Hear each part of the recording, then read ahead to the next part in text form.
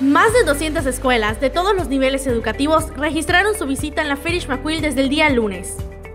Entre maestros y padres de familia, los alumnos recorrían cada stand de la feria, siendo el Castillo de los Sueños de la Coca-Cola la más visitada entre los pequeños y el Festival del Terror entre los más grandes.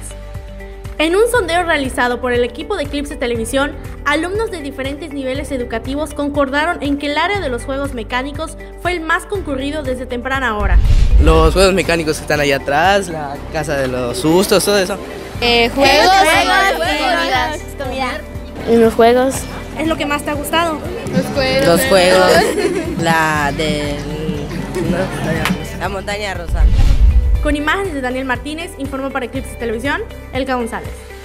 Eclipse, televisión digital.